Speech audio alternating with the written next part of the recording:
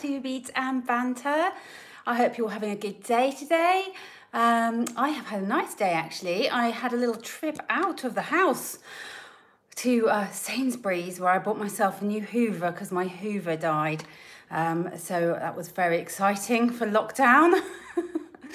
um, and um, I've also made a lovely uh, beachy vibey um, little cowrie shell creation here, which you can you make as a bracelet um, or as um, an anklet. It works equally well. So yeah, you can tell that I'm dreaming of summer holidays, can't you? When we can actually get out and about and you know, go away and enjoy the sunshine because I'm making all these lovely be beachy, beachy things at the moment. Um, so um, I'm just going to say my hellos to everyone and then um, I will get making, show you how to make yourself one of these. I've put them on the website as a kit because um, it's I thought it might be easier for everyone basically if I did, if you wanted to make one. They're only two ninety five each for the kit, so it's super duper cheap. Um, but um, they're just a nice fun make. And if you've got teenagers and things, then they'd be good. Hi Elizabeth, hi Anita, hi Sylvia, Lorraine, Rachel, Anna, welcome. Um, I was chatting, I think we might have a lady called Sherry joining us in North Carolina. I was just chatting to her on email. Hi, Yvonne. Yeah, we do ship to America, um, Amanda. We ship all the time to America. We've got lots of customers in the USA. Um, yeah, so I was chatting to Sherry about her order. Uh, we were tracking it because, um, you know, when you get you've ordered something, you're always desperate to arrive, um, but things are taking a little bit longer to arrive um, because there's less flights, basically. Um, so, and there's less flights, so that means that when orders are leaving the UK, they've got to wait longer to get on a plane to, to go out to you all in America. But they are getting there. Um, we're finding they're taking a couple of days longer, but you know, it's not the end of the world. So, yeah, they're still getting through. Hi, Nancy. Um, yeah, so that's been my day so far. Um, I'm going to make a birthday cake for a friend who has a big, the big 5-0 birthday um, tomorrow. So I'm going to make her um, a, um, a nice cake, which will be lovely. And we were supposed to be going away for the weekend celebrating. Um, oh, Doris, you're saying you're watching a chainmail bracelet. I didn't catch the rest of that though. You're watching an old, uh, an old um, YouTube, a, a chainmail one. Hi, Leslie. Oh, thank you for your order. We do appreciate it. We really do. The guys in the warehouse are working really hard. They're working 12 hour shifts, packing everyone's orders. Um, and uh, yeah, we're so grateful for your support. So thank you very much.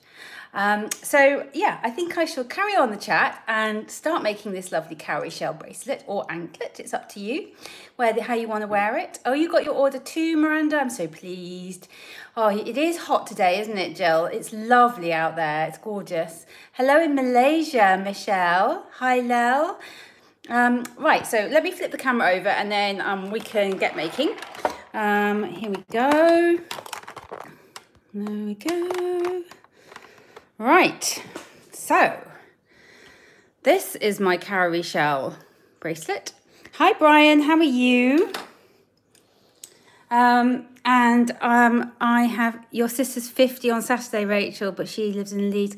It's such a shame, isn't it? If you've got a lovely, a nice big birthday and you want to, you know, celebrate it with friends, and you know, this lockdown is just getting to us all now, isn't it? All those lovely celebrations we had planned, um, but we'll just have to postpone it, won't we, and do it later, I think. So, um, I'm making my friend a cake, and she only lives up the road from me, so I'm going to drive up to her house and put it on her doorstep and knock on the door, and then we'll all sit in the car and sing her a happy birthday um, and wave at her from the car and then drive away.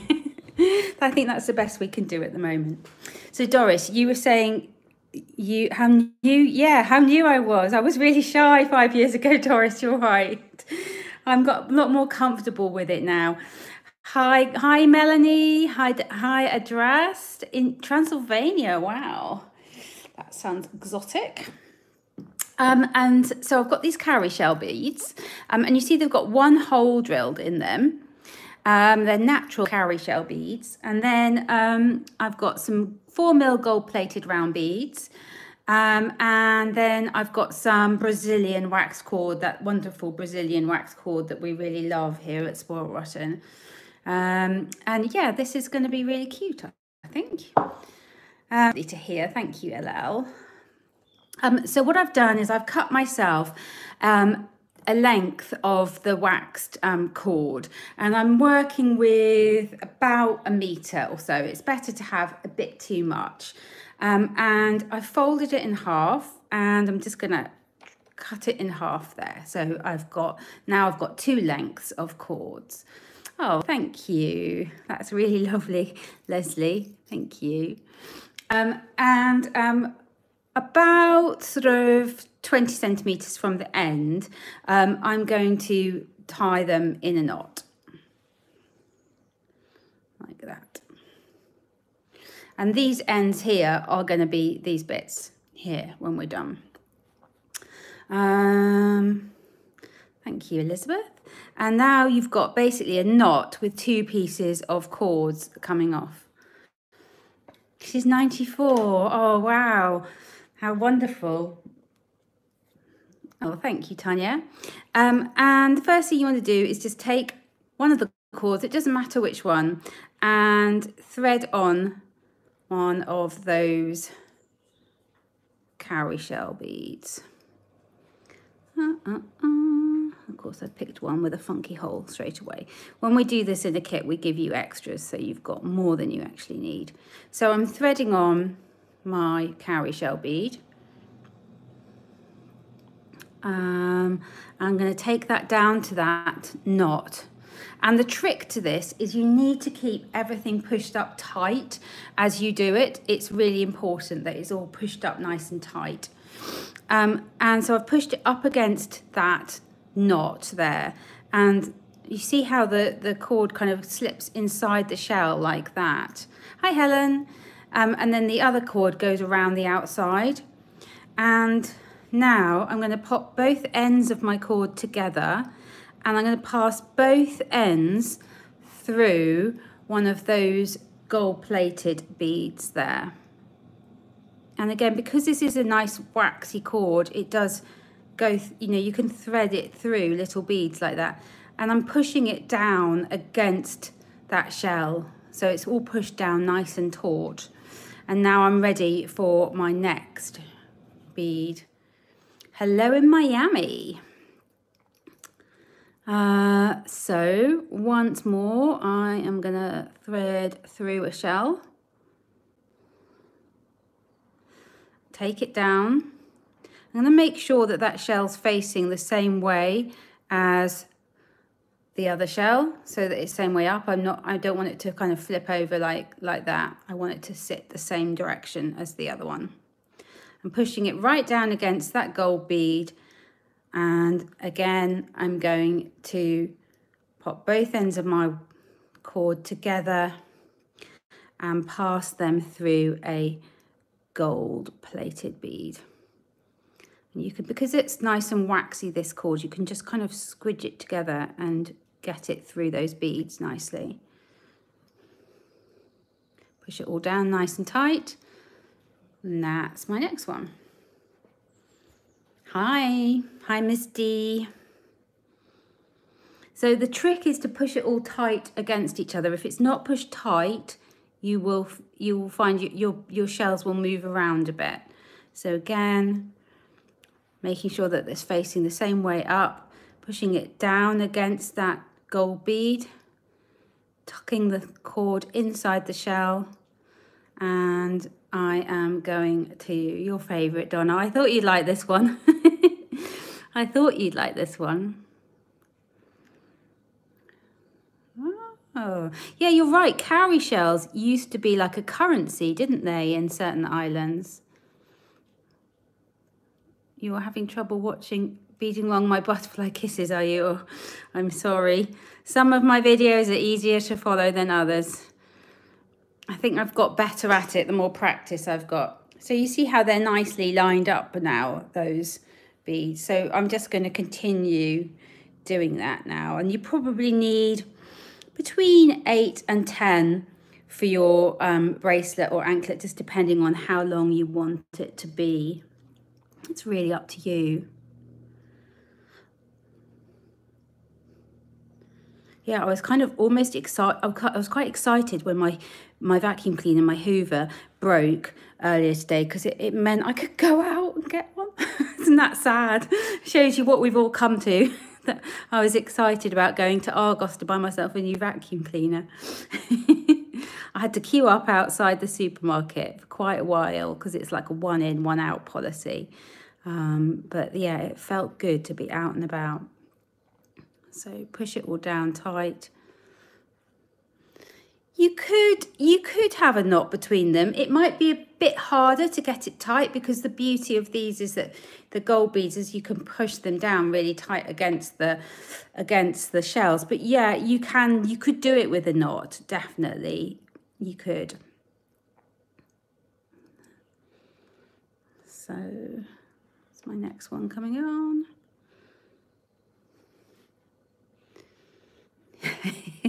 I know I've got it charging at the moment, Patricia, my vacuum cleaner, and I'm like I'm quite excited about using it later.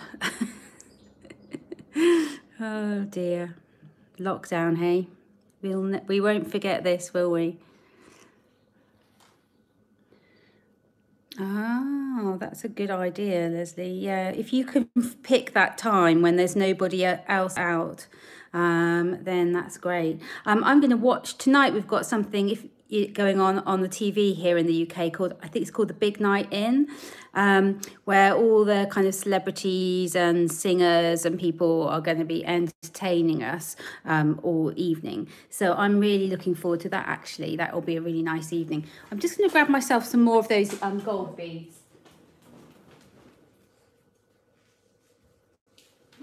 Back again. There we go. yeah, the big night in. So I shall be watching that later. Um, there's some quite good comedians and people on it, so hopefully it'll be nice and good, funny things to cheer us up. You don't have Sainsbury's. Your Argos is shut. Oh, that's so annoying. That is so annoying. Ooh, what was that, Elizabeth? You've got some barbecue mats, I think you said. You kind of go around Sainsbury's if you do get in and there's all the clothes there and stuff and you think, oh, you know, they're really lovely, but you don't have the occasion to wear, wear them, do we, at the moment? I do feel sorry for those shops that have bought all that stock. It must be really tough for them right now. Place super glue on that. Yeah, you could you can do that, Brian, but because the um, this cord is the Brazilian wax cord, you probably don't even need to because it's it's so waxy it just sort of sticks to together nicely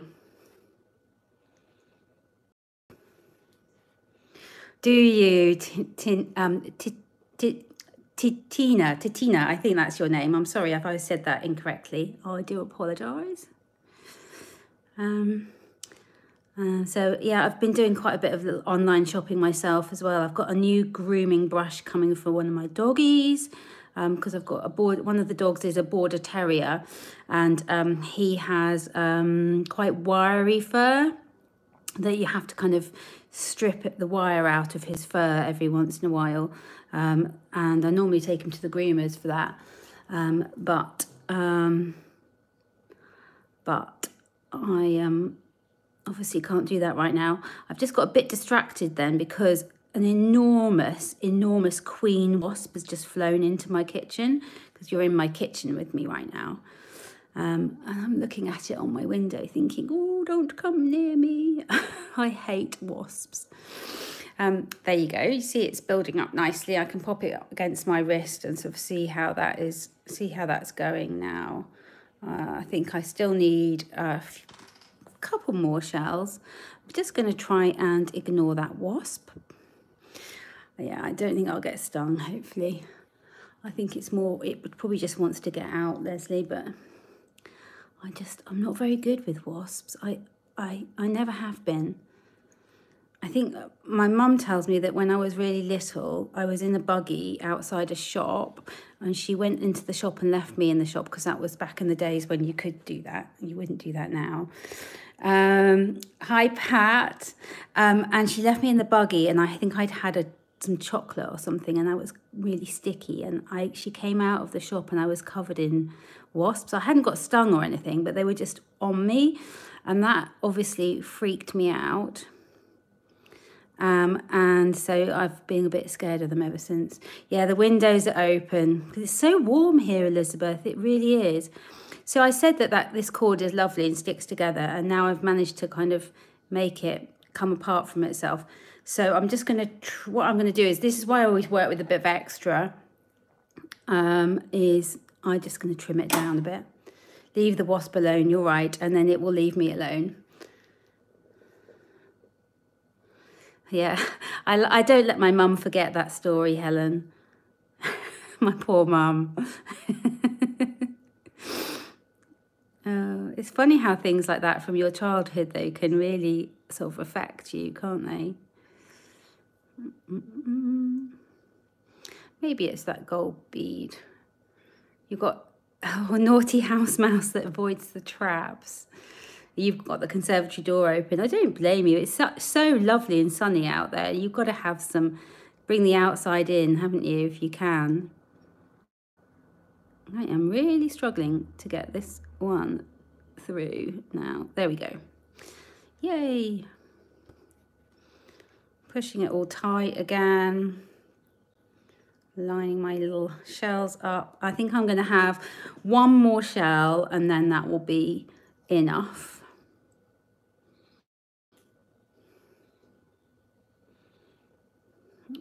Thank you, Leslie, for the, the recommendation.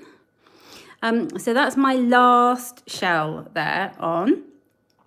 Um, and um, yeah, they are on the website, Lucy.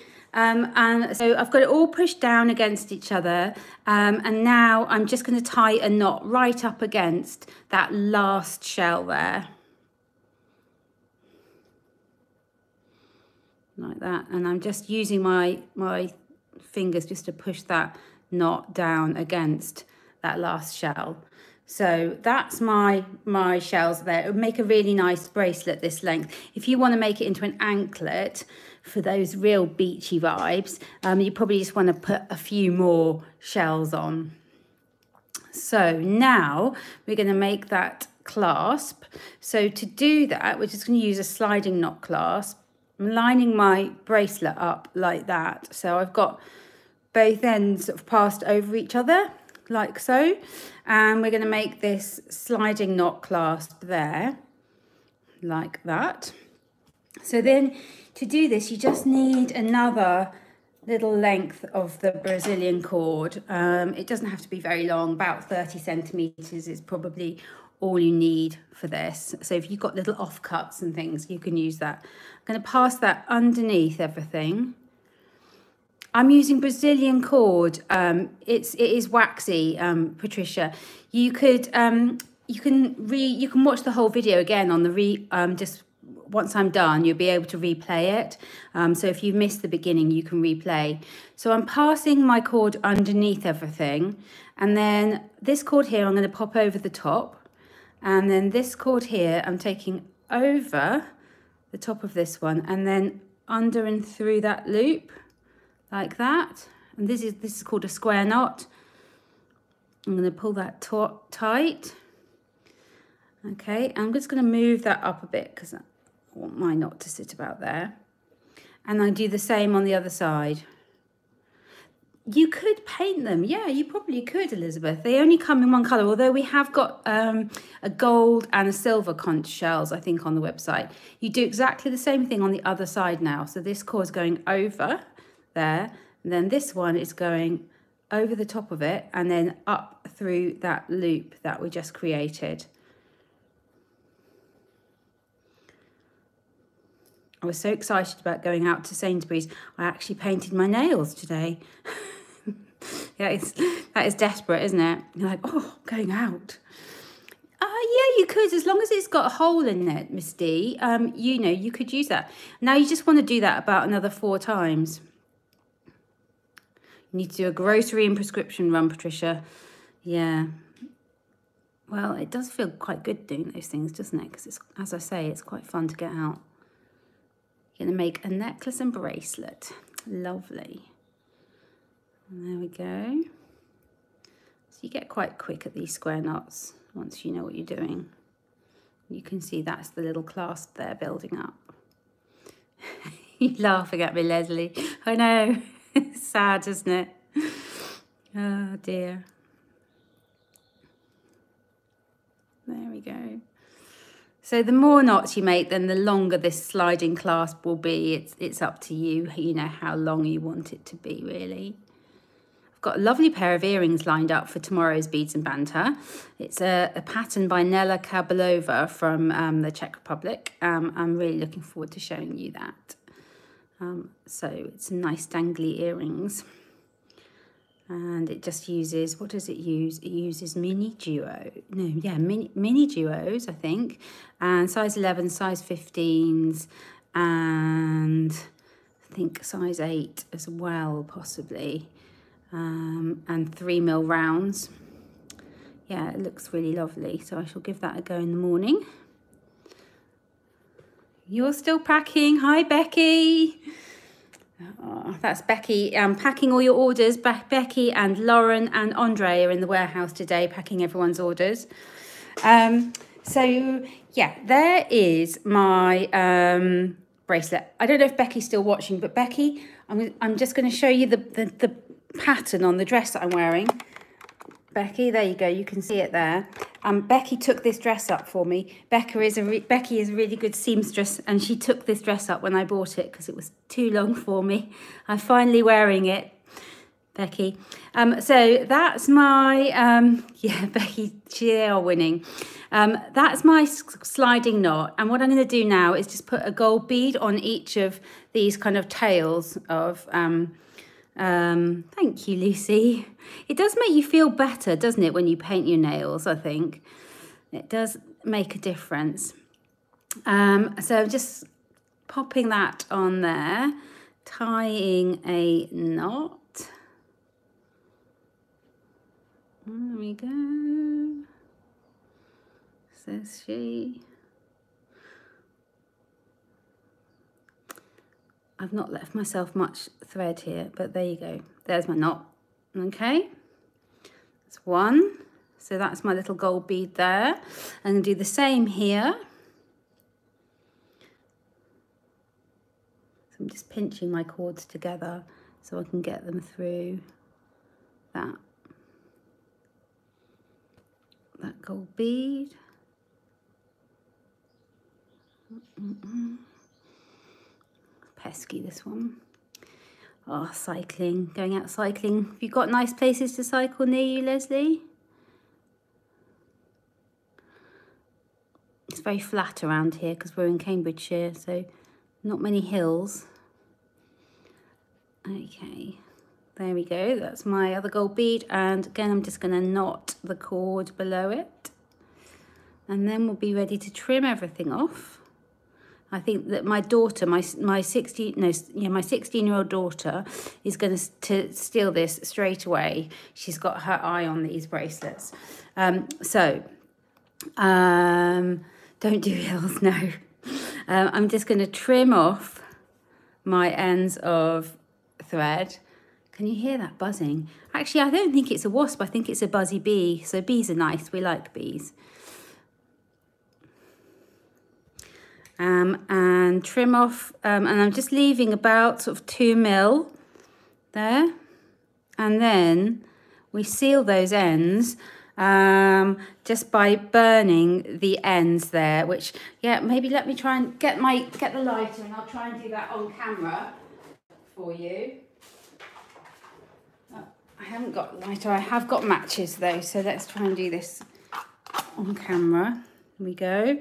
So you just burn the end. It just melts quite nicely because it is a, um, a synthetic cord. So I'm just melting it and just giving it a little push.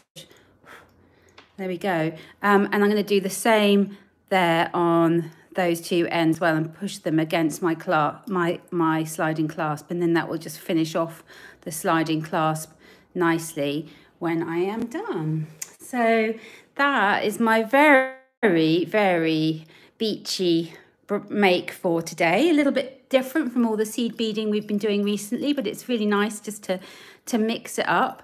Um, so yeah, I hope you have enjoyed watching this. Um, have a go yourself. share your makes on our um, channel and subscribe to our channel. If you haven't subscribed to our YouTube channel, then hit that subscribe button before you go. Um, and yeah, thank you very nice dangly glamorous earrings in a nice coral and turquoise colorway that I've got lined up. Um, so yeah, stay safe everyone and see you